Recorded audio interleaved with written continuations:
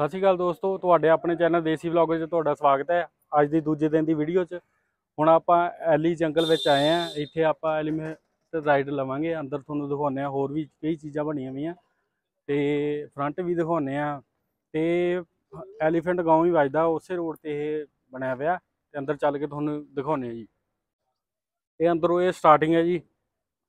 Elephant ਜਿਹੜੇ ਆਪਣੇ ride ਲੈਣੀ ਆਪਾਂ, ਐਲੀ ਜੰਗਲ। ਐਲੀ ਜੰਗਲ ਹੈ ਇਹ ਤੇ ਇਧਰਲੇ ਪਾਸੇ ਆਪਣਾ ਹਾਥੀਆਂ ਨੂੰ ਬਾਥਿੰਗ ਵਗੈਰਾ ਵਾਸਤੇ ਇਧਰ ਪੂਲ ਦਿੱਤਾ ਹੋਇਆ ਐਕਟੀਵਿਟੀ ਜ਼ੋਨ ਰੈਸਟ ਰੂਮ ਇਧਰ। ਆ ਸਾਹਮਣੇ ਇੱਥੇ ਤੁਹਾਨੂੰ ਕੈਫੇਟੇਰੀਆ ਮਿਲ ਜਾਣਾ। ਤੇ ਇਧਰ ਤੁਹਾਨੂੰ ਆਪਣਾ ਕੱਪੜੇ ਪਵਾ ਕੇ, ਅਗਰ ਤੁਸੀਂ ਸ਼ੂਟ ਆਪਣੀ ਫੋਟੋ ਵਗੈਰਾ ਕਰਵਾਉਣੀ ਹੈ ਤੇ ਇੱਥੇ ਹਵਾ ਮਹਿਲ ਨਾਲ ਪੋਸਟ ਨਾਲ ਕਰਵਾ ਸਕਦੇ ਹੋ। ਇੱਧਰ ਰੈਸਟੋਰੈਂਟ ਆ, ਤੁਹਾਨੂੰ ਇੱਥੇ ਖਾਣ ਪੀਣ ਨੂੰ ਮਿਲ ਜੂ, ਇਹ ਹੱਟ ਬਣੀ ਹੋਈ ਆ। ਇੱਥੇ ਤੁਸੀਂ ਆਪਦਾ ਖਾ ਪੀ ਲਓ। ਇੱਥੇ ਕਬੂਤਰ ਵਗੈਰਾ ਤੁਹਾਨੂੰ ਐਂ ਖੁੱਲੇ ਦੇਖਣ ਨੂੰ ਮਿਲਣਗੇ, ਬਹੁਤ ਵਧੀਆ ਲੱਗਦਾ ਉਹ। ਦੇਖ ਸਕਦੇ ਹੋ ਇੱਧਰ। ਤੇ ਹੋਰ ਵੀ ਚੀਜ਼ ਦਿਖਾਉਣੇ ਤੁਹਾਨੂੰ ਇੱਥੇ, ਐਲੀ ਜੰਗਲ 'ਚ। ਦੇਖੋ ਕਿੰਨੇ ਪਿਆਰੇ ਇੱਥੇ, ਹਨਾ? ਤੇ ਆਹ ਦੇਖੋ, ਕੁੱਕੜ ਆ ਇੱਥੇ ਦੇਖ ਸਕਦੇ ਹੋ ਤੁਸੀਂ, ਹਨਾ? ਵਾਈਟ ਬਲੈਕ ਦੇਖ ਸਕਦੇ ਹੋ, ਐਲੀ ਜੰਗਲ। ਬਹੁਤ ਵਧੀਆ ਇੱਧਰ ਦੇਖ ਸਕਦੇ ਹੋ ਜੀ। ਇਹ ਵੀ ਹੈਗਾ। ਇਹ ਸਾਹਮਣੇ ਐਲੀਫੈਂਟ ਹੈ ਜੀ। ਇੱਥੇ ਐਲੀਫੈਂਟ ਰਾਈਡ ਤੁਸੀਂ ਲੈ ਸਕਦੇ ਹੋ ਆ ਕੇ। ਤੇ ਉਹ ਸਾਹਮਣੇ ਸਿਸਟਰ ਤੇ ਬ੍ਰਦਰ ਚੱਲੇ ਆ ਤੇ ਉਹ ਲੈ ਰਹੇ ਆ ਐਲੀਫੈਂਟ ਬਾਕੀ ਵੀਡੀਓ ਉਹ ਬਣਾ ਕੇ ਲਿਆਉਣਗੇ। ਚੈਨਲ ਨਾਲ ਜੁੜੇ ਰਹੋ ਚੈਨਲ ਨੂੰ ਸਬਸਕ੍ਰਾਈਬ ਕਰਨਾ ਵੀਡੀਓ ਨੂੰ ਸ਼ੇਅਰ ਕਰਨਾ ਨਾ ਭੁੱਲਣਾ ਜੀ। ਦੋਸਤੋ, ਇੱਥੇ ਐਲੀਡੇ ਜੰਗਲ ਵਿੱਚ ਹਾਥੀਆਂ ਦੀ ਰਾਈਡਿੰਗ ਹਾਥੀਆਂ ਦੇ ਪੇਂਟ ਕਰਨਾ, ਉਹਨਾਂ ਨੂੰ ਆਉਣਾ ਤੇ ਖਵਾਉਣਾ।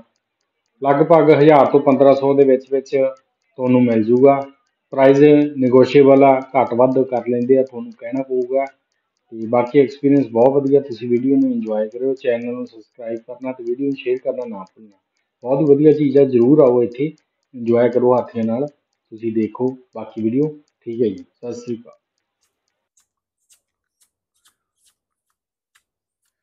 ਦੋਸਤੋ, ਹੁਣ ਆਪਾਂ ਆਏ ਆ ਸਮ੍ਰਿਤੀ ਵਨ ਚ। ਇਹ ਸਾਹਮਣੇ ਤੁਸੀਂ ਦੇਖ ਸਕਦੇ ਹੋ ਮੋਰ ਆ, ਇੱਥੇ ਹੋਰ ਵੀ ਪੰਛੀ ਤੁਹਾਨੂੰ ਦੇਖਣ ਨੂੰ ਮਿਲਣਗੇ। ਉਹ ਆਪਾਂ ਅੱਗੇ ਚੱਲ ਚੱਲ ਕੇ ਤੁਹਾਨੂੰ ਦਿਖਾਉਣੇ ਆ, ਜਿਹੜੇ ਜਿਹੜੇ ਵੀ ਇੱਥੇ ਦਿਖਣਗੇ। ਤੇ ਇਹ ਸਾਹਮਣੇ, ਇੱਥੇ ਪੀਕੌਕ ਆ ਸਾਹਮਣੇ, ਤੁਸੀਂ ਦੇਖ ਸਕਦੇ ਹੋ। ਤੇ ਅੱਗੇ ਚੱਲ ਕੇ ਹੋਰ ਵੀ ਦਿਖਾਉਣੇ ਆ, ਇੱਥੇ ਬੋਰਡ ਤੇ ਤੁਹਾਨੂੰ ਦਿਖਾ ਦਿੰਦੇ ਆ ਵੀ ਕਿਹੜੇ ਕਿਹੜੇ ਦੇਖਣ ਨੂੰ ਮਿਲਣਗੇ। ਐਦਾਂ ਇਹਨਾਂ ਦੇ ਪੰਛੀ ਇੱਥੇ ਹੋਣਗੇ, ਜਿਹੜੇ ਤੁਸੀਂ ਵੇਖ ਸਕਦੇ ਹੋ ਇੱਥੇ ਆ ਕੇ। ਬਟਰਫਲਾਈ ਵੈਲੀ ਵੀ ਬਣੀ ਆ, ਉੱਥੇ ਵੀ ਲੈ ਕੇ ਚੱਲਦੇ ਆ ਤੁਹਾਨੂੰ। ਜਿਵੇਂ ਉਹ ਪੈਰਟ ਬਣਿਆ ਹੈ ਨਾ ਤੇ ਆਹ ਚਿੜੀਆਂ ਇਸ ਟਾਈਪ ਦੀਆਂ ਇੱਥੇ ਦੇ ਤੁਹਾਨੂੰ ਦੇਖਣ ਨੂੰ ਮਿਲਣਗੀਆਂ। ਦੇਖਦੇ ਆ ਆਪਾਂ ਅੰਦਰ ਕੀ ਕੀ ਦੇਖਣ ਨੂੰ ਮਿਲਦਾ ਹੋਰ। ਇੱਧਰ ਬਟਰਫਲਾਈ ਵੈਲੀ ਚੱਲਦੇ ਆ ਪਹਿਲਾਂ। ਇੱਧਰ ਆ ਜਾਓ।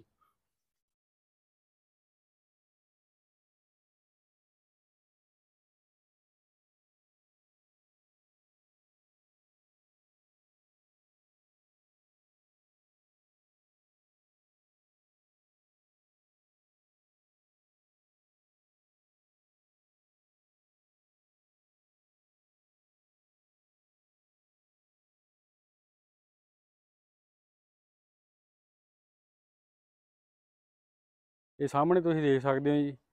ਐ ਪੂਰਾ ਐ ਜੰਗਲ ਵਾਲਾ ਇੱਥੇ ਤੁਹਾਨੂੰ ਫੀਲ ਮਿਲੂਗਾ। ਪੂਰਾ ਐ ਵਧੀਆ ਬਣਾਇਆ ਹੋਇਆ ਇਹਨਾਂ ਨੇ। ਆਹ ਦੇਖੋ ਇੱਥੇ ਬਟਰਫਲਾਈ ਹਨ ਜਿਵੇਂ ਐਦਾਂ ਤੁਸੀਂ ਦੇਖ ਸਕਦੇ ਹੋ।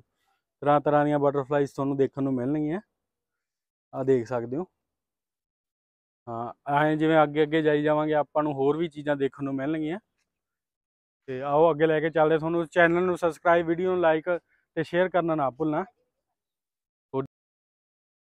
ਇੱਥੇ ਹੀ ਤੁਹਾਨੂੰ ਤਰ੍ਹਾਂ ਤਰ੍ਹਾਂ ਦੇ ਨਾ ਦਰਖਤ ਵੀ ਦੇਖਣ ਨੂੰ ਮਿਲਣਗੇ, ਜੋ ਅਕਸਰ ਆਪਾਂ ਨਹੀਂ ਵੇਂਦੇ ਇਹ ਦੇਖੋ, ਇਹ ਸਾਹਮਣੇ ਬੰਬੂ ਦੇ ਦਰਖਤ ਆ, ਬਾਂਸ ਜਿਹਨੂੰ ਆਪਾਂ ਕਹਿ ਦਿੰਦੇ ਆ ਬੰਬੂ।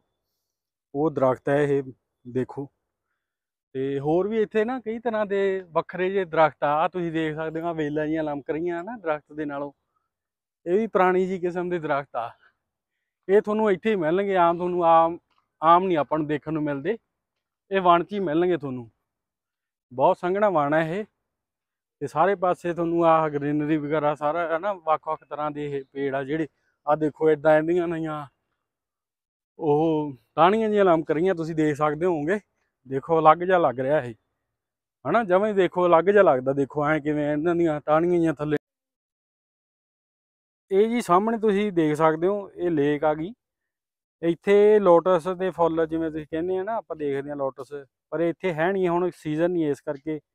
ਕੱਲੇ ਪੱਤੇ ਆ, ਇੱਥੇ ਲੋਟਸ ਲੱਗਦੇ ਲੋਟਸ ਦੇ ਫੁੱਲ, ਬਹੁਤ ਵਧੀਆ ਵਿਊ ਆਉਂਦਾ ਇੱਥੇ ਇੱਥੇ ਅਕਸਰ ਹੀ ਲੋਕ ਪਿਕਚਰ ਵਗੈਰਾ ਕਰਾਉਂਦੇ ਆ ਆਪਦੀ।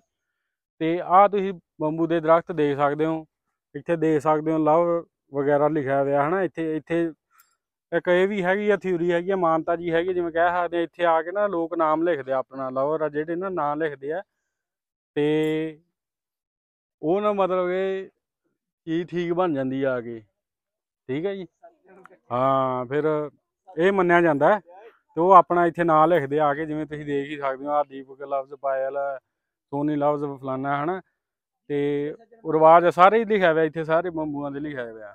ਇੱਥੇ ਤੁਹਾਡਾ ਵਿਊ ਹੈਗਾ ਤੇ ਤੁਹਾਨੂੰ ਉੱਪਰ ਜਾ ਕੇ ਪੂਰੇ ਦਿਖਾਉਨੇ ਆ ਉੱਪਰਲੇ ਪਾਸਿਓਂ ਦੀ ਦਿਖਾਉਨੇ ਆ ਵਿਊ ਤੇ ਇੱਥੇ ਪੂਰੇ ਬੰਬੂਆਂ ਦੇ ਤੁਹਾਨੂੰ ਲਿਖਿਆ ਮਿਲ ਜੂਗਾ। ਐਵੇਂ? ਹੱਸਦੇ ਬਾਲੇ ਹੋ ਤੁਸੀਂ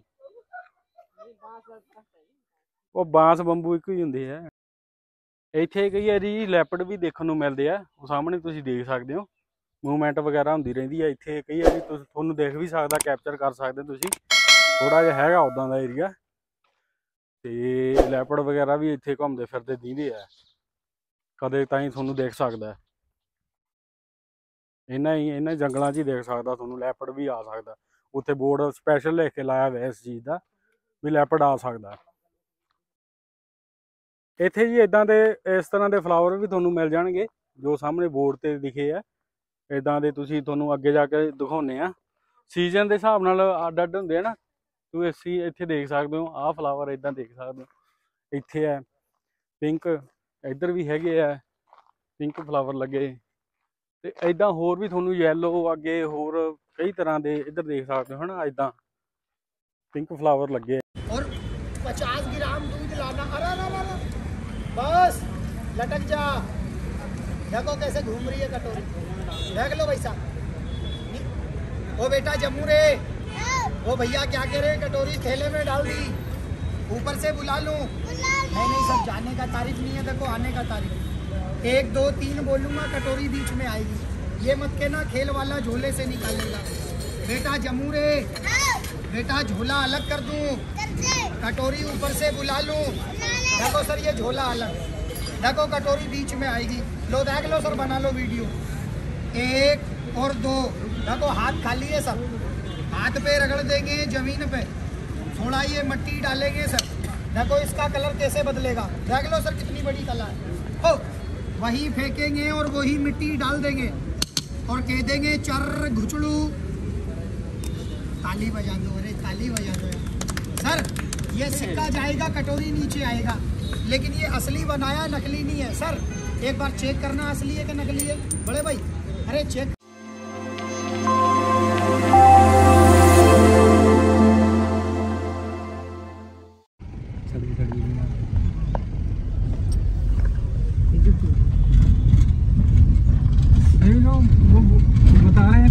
मंदिर पुराने मंदिर का रास्ता भी इधर से आएगा पुराने मंदिर? पुराना मंदिर ऊपर ही है ना तो ऊपर ही था भीड़ लग रही है ना वो? हाँ। पुराना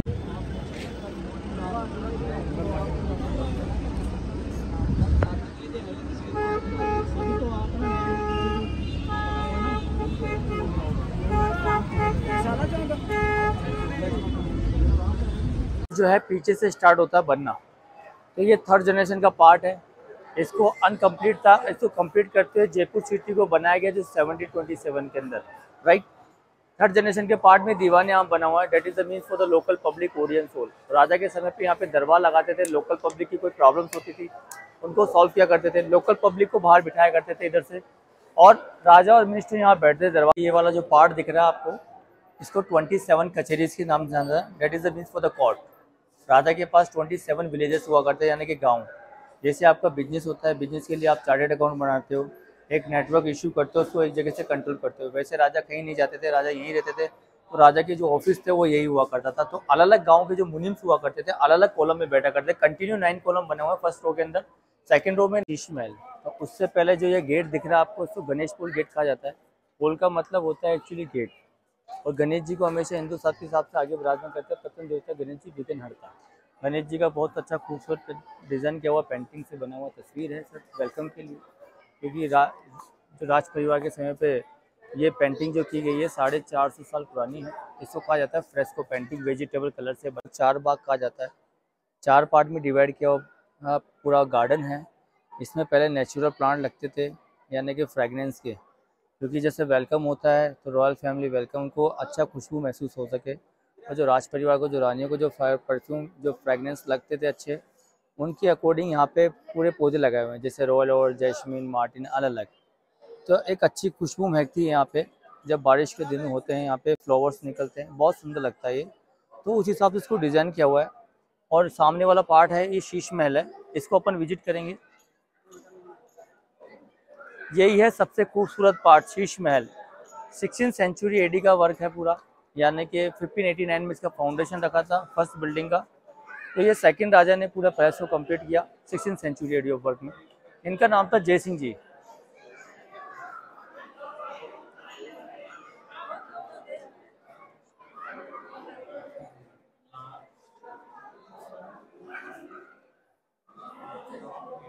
आइए। ये पूरा जो पैलेस देख रहे हैं आप ये सेकंड किंग का पैलेस है। इनका नाम है सर वैसे मिर्ज़ा राजा जय सिंह जी। मिर्ज़ा एक टाइटल है। ये स्टार्टिंग बिल्डिंग है। 1589 का फाउंडेशन है। 25 साल लगा राजा को बनाने में। राजा जो थे, इनका नाम था मान सिंह जी। अकबर के सेनापति हुआ करते थे चीफ कमांडो इनकी बारह रानियाँ हुआ करती थी। बारह रानियों के लिए राजा ने बारह घर बनाए और बारह घर बनाने में इनको पच्चीस साल लग गया। अलग रानी लेडीज़ अपार्टमेंट है पूरा और यहाँ पे मेन स्टाफ को अलाउ नहीं था। रानी के साथ धांसियाँ, विद यहाँ पे किन्नर रहा करते ट्रांसजेंडर बॉडी गार्ड तो ये मेन रानी का कमरा जिस वाले पार्ट पे अपन खड़े हैं। तो थ्री बी वाले रूम है, दो हॉल है, पीछे एक बाथटब है। ऐसे टोटल ट्वेल्व है और ट्वेल्व ही अलग अलग रास्ते हैं, बारह। यूज़ किया करती थी। थर्ड रानी का थर्ड अपार्टमेंट यानी कि फ़र्स्ट रूम में पूरा तीन अपार्टमेंट रेडी किया हुआ। ऊपर वाली बिल्डिंग पे देखो आप, ये राजा का कमरा है कॉर्नर वाला। राजा ने सिर्फ़ एक ही कमरा बना रखा है, बाकी चारों तरफ़ बालकनी बनाया बालकनी से चारों तरफ़ राजा घूमा करते थे और अलग अलग रास्तों से रानियों से मुलाकात किया करते थे। सामने वाला जो झरोका दिख रहा है आपको, राजस्थानी भाषा में बोलते झरोके वैसे इनको विंडो कहा जाता है। जिन्हीं विंडो से रानियों को देखते थे और ये छोटे छोटे रस्ते हैं सीक्रेट सामने ऊपर वाला जो पार्ट दिख रहा है, इसमें वॉच टावर है, वहाँ पे किन्नर रहा करते ट्रांसजेंडर बॉडी राइट अब आप बाहर चलेंगे, बाहर में देखिए सेम प्रोसेस है जो मैंने अंदर दिखाया आपको। तीन तो इस रो में है, तीन इस रो में है सेकंड रो में, तीन, चारों तरफ़ तीन तीन करके तीन चौक बारह है और बीच में ये बारह दरी है कॉमन एरिया बारह रानियों को यहाँ पे बुलाते थे राजा। और जो भी कोई फ़ंक्शन होते थे रिलेटेड रॉयल फैमिली को, वो यहाँ पे इनवाइट करके किया करते थे राइट जैसे आपने जोधा अगर मूवी देखा हो तो सोनू सूद और ऐश्वर्या राय ने जो तलवारबाजी वाला सीन किया था, वो मूवी यहीं पे शूट किया गया था पूरा।